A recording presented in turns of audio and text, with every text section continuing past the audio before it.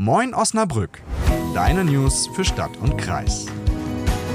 Guten Morgen und moin nach Osnabrück und ins Umland. Heute ist Freitag, der 12. Januar. Mein Name ist Anna Niere und das sind die heutigen Themen. Im Internet können wir jederzeit shoppen, was das Herz begehrt. Doch in der Osnabrücker Innenstadt ist irgendwann Ladenschluss. Eigentlich lag der in den meisten Geschäften bei 19 Uhr. Inzwischen steht man um diese Uhrzeit bei vielen Geschäften allerdings vor verschlossenen Türen.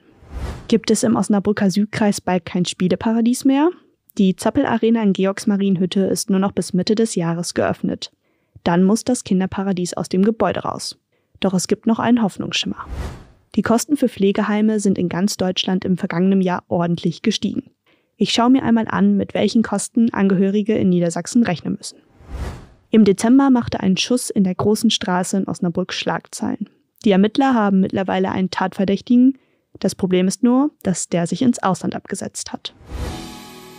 Eigentlich konnten die Osnabrücker sich bisher immer darauf verlassen, dass die meisten Geschäfte in der Innenstadt bis 19 Uhr geöffnet haben. Das ist quasi eine ungeschriebene Regel unter den Geschäftsleuten. Doch ganz so zuverlässig ist das jetzt nicht mehr. Das Traditionsgeschäft Schäffer, bekannt für seine Spielwaren und Haushaltsallerlei, weist seit einigen Tagen mit einem Schild an seiner Tür darauf hin, dass der Laden bereits um 18 Uhr seine Türen schließt. Die Schäffer Geschäftsführerin Vanessa Waldvogel nennt den Grund dafür. Durch die kürzeren Öffnungszeiten könnten sich in der Kernzeit mehr Mitarbeiter um die Kunden kümmern und mehr Freizeit hätten sie dann auch. Wir haben uns einmal weiter in der Stadt umgeschaut und so einheitlich wie wir dachten, sind die Öffnungszeiten der Geschäfte tatsächlich gar nicht mehr. Manche öffnen um 10 Uhr, andere um 9.30 Uhr. Auch abends sieht es ähnlich aus. Während die einen nur bis 18 Uhr geöffnet haben, kann in anderen Läden, vor allem in den Mode- und Drogerieketten, bis 20 Uhr geshoppt werden. Woran das liegt? Die Öffnungszeiten sind abhängig von der Branche, der Lage und dem Sortiment. Vielleicht erkundigt ihr euch also lieber noch einmal, bis wann der Laden eures Vertrauens geöffnet hat. Nicht, dass ihr demnächst vor verschlossenen Türen steht. Viel Fläche zum Austoben und Auspowern für Kinder. Das hat die Zappel-Arena, die es seit 2014 schon in Georgsmarienhütte gibt. Frank Acker führt seitdem den Indoor-Spielplatz.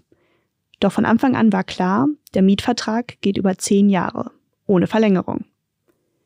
Jetzt ist es 2024, also zehn Jahre später, und es steht fest, Mitte des Jahres muss die Zappel Arena aus dem Gebäude am Haderberg raus.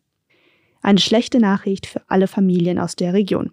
Denn für die ist der Indoor-Spielplatz ein beliebter Treffpunkt. Frank Acker besitzt mittlerweile mehrere Spielarenen in der Region. In Sothausen zum Beispiel soll bald eine neue Halle unter seiner Regie eröffnen.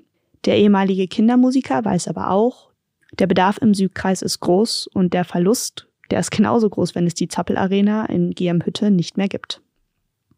An dieser Stelle kann ich aber auch Entwarnung geben. Denn der Vermieter hat versichert, dass die Halle auch nach dem 1. Juli noch ein Anlaufpunkt für Kinder und Familien sein soll. Dann aber mit neuem Inhaber und neuem Namen. Einen Platz im Pflegeheim zu bekommen, ist schon seit einigen Jahren nicht gerade einfach.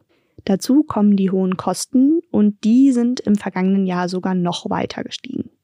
Eine Auswertung des Verbands der Ersatzkassen zeigt, dass die Kosten der Pflege zugenommen haben, obwohl es seit 2022 neben den Zahlungen der Pflegekasse auch Entlastungszuschüsse gibt. Hier einmal die Zahlen aus dem Jahr 2023. Im Durchschnitt kostete in Deutschland ein Pflegeheimplatz 2576 Euro pro Monat. In Niedersachsen war es mit 2273 Euro also etwas billiger. Das sind aber nur die Kosten, die von den Angehörigen selbst gezahlt werden müssen.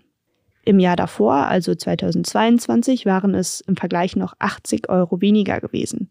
Die Gründe für den Anstieg sind recht logisch. Die Löhne wurden erhöht und die Inflation macht sich auch hier bemerkbar.